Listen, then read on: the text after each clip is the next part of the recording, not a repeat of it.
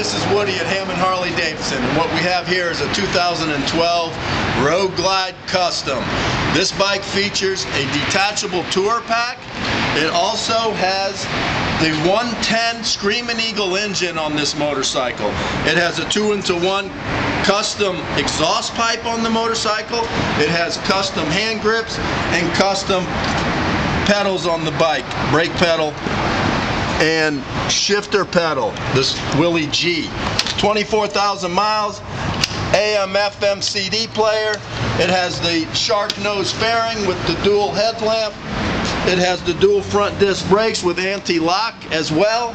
The lower fairing it is the big blue pearl color. Absolutely gorgeous. Has everything you'd want. This bike is a beast, ready to roll. Let's take a listen to it.